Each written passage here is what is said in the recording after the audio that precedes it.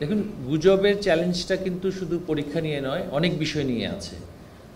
সামাজিক যোগাযোগ মাধ্যমগুলোকে অপব্যবহার করে রাজনৈতিক অপপ্রচার আমরা বেশ কিছুদিন ধরে দেখে আসছি এই দেশে।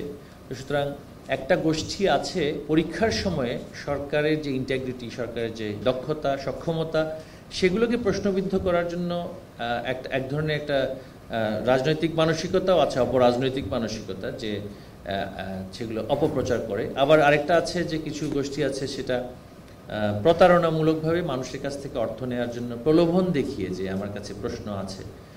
সেগুলো কিন্তু আসলে ফাঁস হয়নি, কিন্তু ফাঁস হওয়ার গুজব রটিয়ে তারা মানুষের কাছ থেকে অর্থ নিতে চায়। এটা যে কোনো সময় হতে পারে।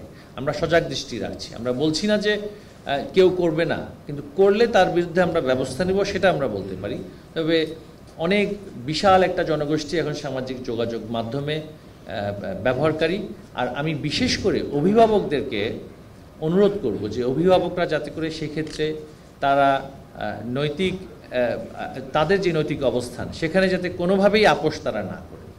এবং অত্যন্ত দুর্ভাগ্যের বিষয় যে, আমরা প্রায় সময় দেখি যে এবং দেখেছি, তদন্তেও প্রমাণিত হয়েছে যে অনেক অভিভাবক, বিশেষ করে আমরা দেখেছি যে মেডিকেল এডুকেশনের যে আমাদের যে অ্যাডমিশন টেস্ট সেখানে প্রশ্ন সেখানে এবং এই বছর আমি আমার নিজের টেলিফোনেও আমার মোবাইল ফোনে অনেক মেসেজ পেয়েছি যে আমার সন্তান পরীক্ষায় অংশগ্রহণ করা, করেছে, কিছু কি করা যাবে কিনা? এমনকি রোল নাম্বার দিয়ে বলেছে।